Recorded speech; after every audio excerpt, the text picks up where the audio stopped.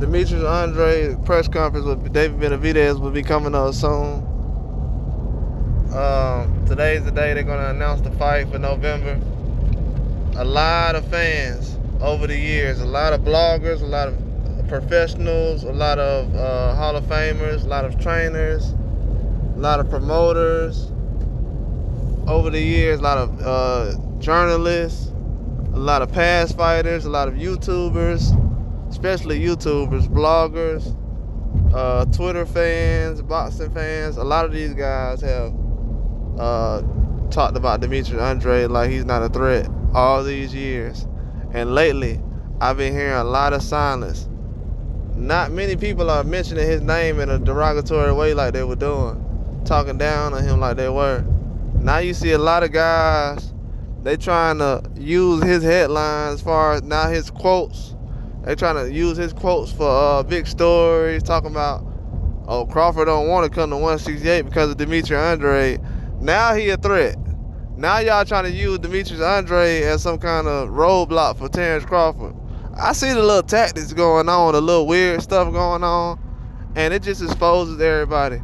I can't wait until I hear the first person sit up here and say, "Well, yeah, you know, Demetrius Andre." I know you wasn't uh, a fan of his, and that they're gonna try to downplay either if he wins, they're gonna try to downplay his win by saying, "Oh, ben- Benavidez wasn't like we thought he was," and that's gonna be a complete lie. But they're gonna try to downplay anything around it. Like even the fight. A lot of people trying to, oh yeah, yeah, they fighting and all that stuff. But it's gonna be fight of the year. I'm gonna, I'm gonna say it right now. Fight of the year, right now, because a lot of this is a fight that nobody wants to take as far as with Benavidez or Andre. You can say what you want as far as resumes or anything, but this is a fight that nobody wants to take. So, with a lot of people trying to um, switch up now and trying to backpedal and they gonna try to uh, juice up everything and try to make it seem like uh oh they was pro this guy and pro that guy. A lot of people haven't been uh talking good about Benavidez or Andre, so they don't already want to see a good event anyways. They gonna try to bring up numbers and all kind of other stuff anyways. They gonna try to look for the first guy who lost, try to throw him under the bus and try to discredit him but this is a huge fight for real boxing fans. Very big fight. I bet Canelo gonna be watching. It's gonna be a very big fight. But for people to try to downplay Demetrius Andre all these years, and now we get to a point where uh, people see now that he's a threat, that he's to be taken seriously. 36, 37, 34, 35, whatever age he can be, he gonna be a threat. And right now, people see that like, oh, okay, he hasn't aged out like we thought he was. He ain't gonna go away. No, he's not gonna go away. The guys that y'all trying to uh, age out, they're the ones who lasted the longest. The ones who uh, try to age guys out, they aging themselves out. So we see now, even even with the stuff that's going on in, in the divisions, the 160s, the 168s, this fight right here gonna determine a lot of stuff. It's also gonna make Benavidez better anyways. Uh, for him to even take this fight. But for the guys who've been down Demetrius Andre all these years, they can't come up. It's two. It's a few things coming up right now. They can't come up with a reason why he took the fight. They want to come up with a reason like, why would he take a, take this fight? Why would he take this fight? Because at first they want to say, oh, Benavidez, nobody wants to fight Benavidez. But when he picks the fight, nobody's making a big deal out of it. But if Charlo would have been the same person that would have gotten in the ring with Benavidez, you wouldn't have heard the end of it. But with Benavidez now fighting Andre, people see now that oh yeah, Andre he's a threat, man. With this going on, the things that uh, he's doing as far as now he's going to open up the division to the point where it's going to be just one clear cut champion throughout the whole division, this whole era. Because what's going on now is Charlos, now we're starting to see who's the best out of the Charlos, out of Benavidez, out of Andre, all these guys that's been fighting over the years, all of it starting to close in. The walls closing in. Now we're starting to see who really gonna be uh, the last man standing. And Canelo has to fight these guys. If he doesn't, the fight's gonna be so big that fans gonna be asking for it. It's gonna be fight of the year, man. These guys, they punch too much. They throw too many punches. They punch too hard. They've been undefeated for too long. You know what I'm saying? I respect David Benavidez more than I respect a lot of guys because a lot of guys ain't taking this fight. Not, not like how he's doing. The way he's doing it right now, it's a whole different way what everybody else doing. We had the stories all this year about how Demetrius Andre pulled out of one fight, and now he's this and this and this, and people don't hold Vergil Ortiz over his head that he done pulled out over three, two or three fights in a row. That's how I know, man. Certain guys, if you just just out here talking, these guys, these new fighters, been pulled out of all kind of big event fights, all kind of fights, pay per view fights that's coming up. They done pulled out of fights, all kind of stuff with injuries, last minute.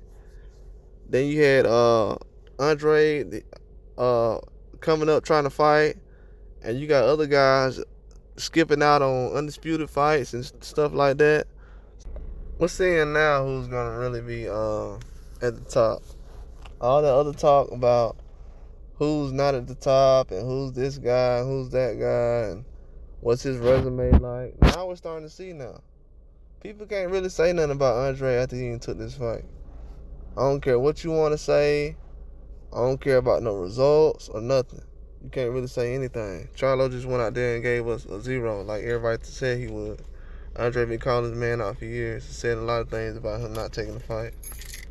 Now what's coming out now is it's starting to look like Andre is the one who's been telling the truth the whole time, and these other guys haven't been telling the truth. They tried to make it seem like he he didn't want to fight, like he wasn't a threat, uh, like they didn't know who he was, even though he's been in the amateurs doing big things for years. They try to make it seem like, well, I don't know who he is. I'm not a matchmaker. You're to have to figure this out. And I tried to fight him before, but he pulled out the fight and he didn't want to do it. Him and his peoples and this and this and that. I bet if it would have been Canelo, he pulled out the fight, I bet you would have still fought Canelo. But we seeing now that when Jermell used that excuse as far as, oh, he pulled out the fight, he didn't want to fight me, and oh, it, it pulled out the fight. We was supposed to fight a long time ago. Come on, man. See now that was a lie. We see now that guys are trying to uh, find fights. I seen when his brother had dropped on Instagram with uh, Andre. I seen it and I said, okay, it's just a business. I see these dudes ain't really trying to do nothing. But Andre very confident. He's very confident right now. He's confident to the point where people are scared. They scared to even talk about it. Cause they got so much. They got years of built up bad reporting on him being a, a duck. Now, possibly, you got a guy who's possibly finna wipe out Benavidez and you talking about he's a duck. Now, if he goes out there and beat Benavidez, all these guys who say he's a duck, they're gonna be invalid. None of that stuff gonna be valid no more. It's already a lot of guys that have tried to destroy Crawford's career now you got guys that try to take money out of Andre's career too, millions. They didn't cost off of this bad reporting. So now you got guys like Canelo out there like, yeah, he's a horrible fighter. You didn't see what this, this journalist or this YouTuber said? Oh, he's ducking people. Oh, he's he's a horrible fighter. Then everybody just sending it back and forth. Oh, he's horrible. He's horrible. He's horrible. What's going on now though? It's a lot of silent doubters out there. People ain't gonna be talking like they used to. The way these guys were talking two or three years ago, oh, Andre, he needs to go away. He doesn't want to fight anybody. Janovic and this person. You had dudes jumping on the ship for Janovic. Some of these dudes just like to say cool names. I don't know. They just want to sound good and be like, oh, yeah, I know Jan- Janovic and Zordo Romero and this person and that person. It sounds so lame because they say all them names and then still get their prediction wrong. nobody even knows half of the stuff they're talking about. Andre running from Charlo? When? Really? Do you hear do you hear how crazy that sounds in 2023 now? Especially after that uh Canelo fight. Do y'all see how crazy that sounds? Demetrius Andre was running from Charlo. Why? He wasn't running from Charlo, man. Come on now. Come on. If you really look at, if you really, really look at Charlo's resume, the only reason his resume looks good is because you know some names on there. That's the only reason. I've been saying that for years. Y'all don't know nobody. That's why you have upsets in boxing because guys be like, man, I didn't never think that guy will lose, or I didn't think it. Just like the Spence fight, I didn't think Spence would fight, lose like that. Man, y'all act like Spence ain't never, never lost a fight before. Come on, man. The man ain't had a knockout in years. The writing was on the wall. Like y'all ain't see that. But they'll try to tell you, nah, man, uh, stuff different now. I guess he's car wreck and things like. But we use certain excuses for people. But if I say, yeah, Andre has some business problems and he couldn't get the fight with Charlie, oh well, that's because he didn't want it and he's greedy with money and I, man, come on, man. You don't even know people in your family who greedy with money. But you know a dude out the street who greedy with money? Come on now. Like, let's stop it. We're gonna pick favorites, but picking favorites has gotten people in the wrong driver's seat now. Now you have people trying to jump around and well, I, I this not my favorite fighter no more. You got guys who was pushing for Charlo and Spence for years. Now they look crazy. Built the whole channel off of that. Nobody want to fight Charlo. They can't get a chance and Nobody want to put Charlo on undisputed. Like, man, get off your knees. Nobody want to put Charlo on undisputed. I mean, uh, on pound for pound list. This is why. I like Tony Harrison. But anybody else beat Tony Harrison, they ain't gonna get put on pound for pound list. And then my thing is this right here if you was jumping around at 154 and 160, see, I know that I, I seen when those guys was jumping around at 154 and 160. When I seen Charlo trying to make a uh, a mega fight with uh, Jarrett Hurd, that's when I seen right there, and I said, "Oh, he ain't trying to, he ain't trying to make no big fights for real." Cause the difference between him and uh, Crawford and Crawford ain't finna sit around and say, "Hey, let's make a mega fight and let's try to build this up." Like him and Spence was talking like that. Not trying to talk down on Spence. I'm just saying that's that's what was going on. It was oh, uh, let me clear this side of the street up real quick, or or talk to Al and this man. Come on, man. But it's coming around now though. Andre got the fight now. Like he said a long time ago, I've been trying to get on PBC for years. I guess that wasn't in the business plan for him to be over there at PBC. You know what I'm saying? There's a lot of people that can say that. I guess he went in the business plan though. Because as you can see, a lot of these guys been trying to make a fight.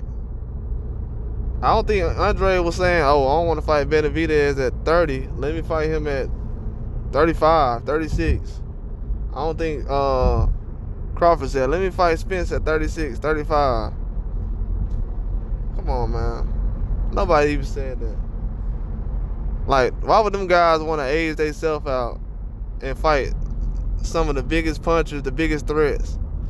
Like, people don't people can say what they want to say, but Benavidez is the biggest threat uh, at 168. Especially if he's sparring guys like Bivol and all that. Ben been sparring Golovkin and these other guys. Yeah, man, he's he's way way ahead of the curve, especially on a lot of fighters.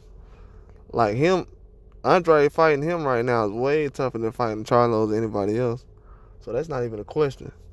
Cause Charlo, they don't even want to get in the ring with uh, Benavidez. They gave him all kind of he needs to be this age and this and that. He gotta have the shots and all kind of stuff. So Benavidez, he he's looking for the type toughest fights right now. You can't do nothing but respect that. But it's a lot of guys silent on Andre though. I'm starting to notice this.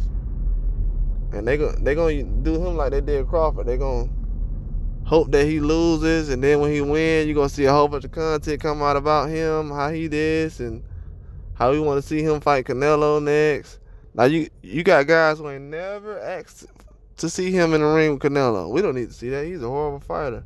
He don't want to fight Charlos anyway. Man, come on, man. I will never doubt a boxer because he didn't fight Charlos. That would be the worst thing ever. Because as you can see, Charlos don't want to fight nobody for real. Nah. Not Andre. If they did, they would have fought him already. I'm pretty sure he ain't the reason they didn't fight. It's a lot of other fights I would have liked the Charlos to fight already if they haven't fought. The Jarrett Hurd fight, that was a long time ago. I think that was before anybody had had a belt. I wanted to see that fight. Uh, right now, people want to see Caleb Plant fight Jermall Charlo. That's not gonna happen no time soon. It looks like he's gonna fight Jose Benavidez. So we gonna see. We gonna see. We gonna see. But as you can see right now, the guy who's taking the real tough fights right now is not. It's not the guys y'all said that everybody was ducking. We gonna have to retire that word. Cause when Spence and Charlo popped up, that ducking word just started flying from all kind of places. Oh, this guy ducking. Man, come on, man. Now we see that word ducking has not been thrown around. Well, y'all try to throw it around on Frank Martin, but uh, I already put that information out about that. That's that's not what's going on. But Andre is definitely a threat. And everybody uh silence is definitely showing me right now that they're scared, terrified. They don't know how big of a threat he is against uh Benavidez. They don't know how good he is. They try to look at the level of competition. They try to say, nah, well, he didn't beat the planet or anything. So, well, we're going to see. We're going to see. Y'all said the same thing about Crawford. We're going to see if that's right, though. Like and subscribe. That's all I got.